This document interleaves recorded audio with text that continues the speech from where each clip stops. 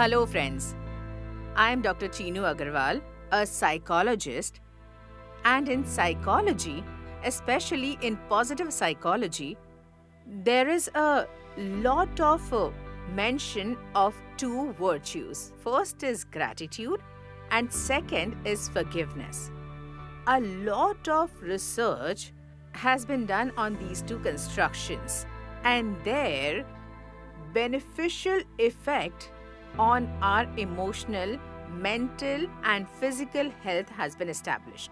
But among these two, gratitude is a little easier and forgiveness is quite difficult.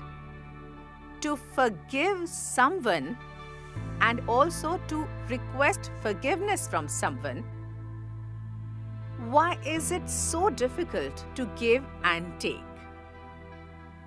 When someone tells us to let go, forgive, let it go, so there is a limitation to it, and that is when someone hurts us.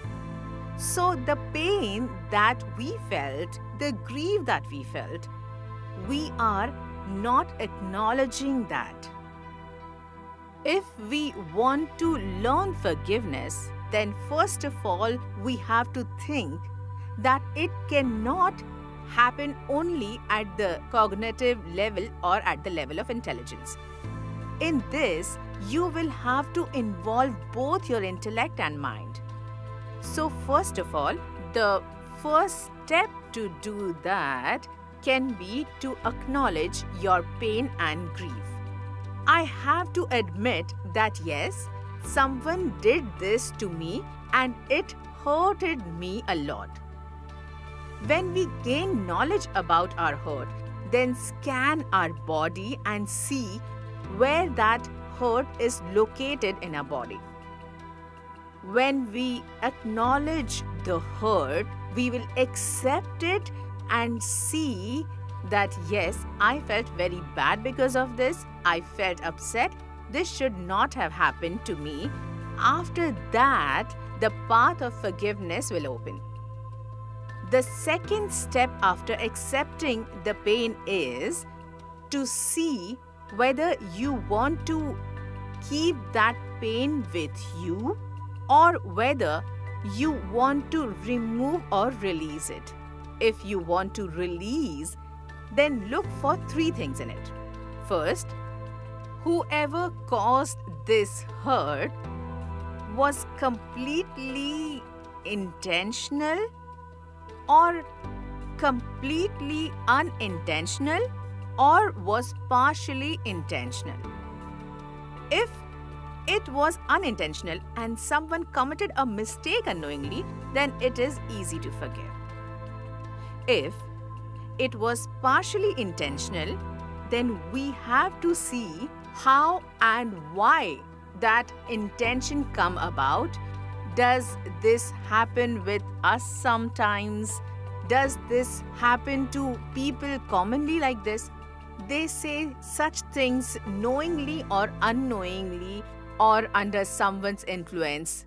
And thirdly if it was completely intentional if someone has done something wrong to us intentionally, then it is most difficult to forgive. Then we have to see two, three things. First, is our relationship with that person important? If so, how important is it? If this relationship is important and very important, then we have to prepare ourselves to express our hurt. Many times, people say or do many things, but they do not realize how much pain their words have caused us. Secondly, if you feel that there is no use in talking to them, they will not accept their uh, mistake or they will not intend to correct it. And after that, to release it, write in your journal what benefit I will get from this forgiveness. Once I remember a very big celebrity had said that whatever offense happened to me was publicly known. I struggled a lot with him for many years, but today I am forgiving that person, not for him, but for my own peace, because I want to move forward. Practicing such kind of forgiveness can also benefit. Friends, even if we want forgiveness from someone, there can be some steps for it. The first step could be that if you know you have made a mistake, just give a dry apology or say, I am really sorry. Otherwise, your relationship may not be repaired. So, what you have to do? You have to repent and say that you are very ashamed of this mistake that you have done you have to express your feelings of guilt completely. Secondly, you have to take full responsibility for your mistake. Taking partial responsibility means that you are blaming the other person as well. In such a situation, you will not get forgiveness.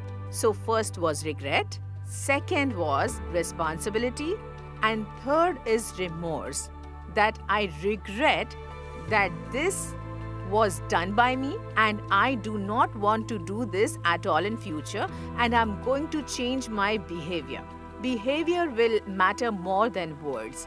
And the fourth is to apologize and explicitly request for forgiveness. If these four R's that I told you are regret, then responsibility, then remorse, and the fourth is request for forgiveness, so you will see that most of the time, people will definitely forgive you under the influence of their kindness and tenderness. Dear friends, forgiveness is a beautiful emotion.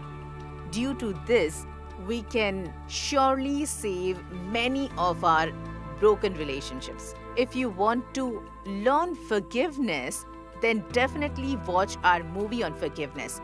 Do its tasks, participate in its projects, and see whether you are able to forgive and ask for forgiveness or not. Please let us know. Thank you.